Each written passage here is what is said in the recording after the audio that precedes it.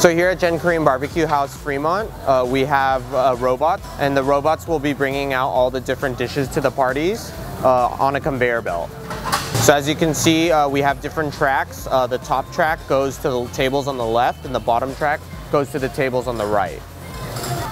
As for the other tables, uh, the waiters will be picking from the end and grab taking that over to the other tables. So the waiter or waitress will be taking in the orders, and then they'll be uh, inputting it in, and then the robot will be receiving it in the back to the kitchen, and then that's when they'll uh, be receiving the food. So Gen Korean Barbecue House's goal is to be innovative and new, and to give um, all our audience a new experience.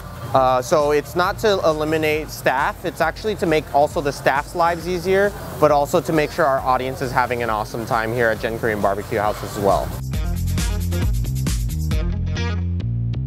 And we thought it was really interesting and we thought we'd come out and give it a go. And it's really fun when the robot just comes out, you make your order and the robot comes out a few minutes later and you just take your food without any trouble dealing with any other servers or waiters. It's, it's really, really interesting. I think it's really engaging.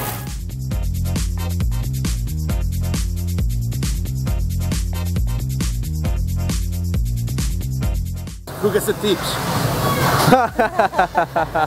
Tips still go to the waiters and waitresses.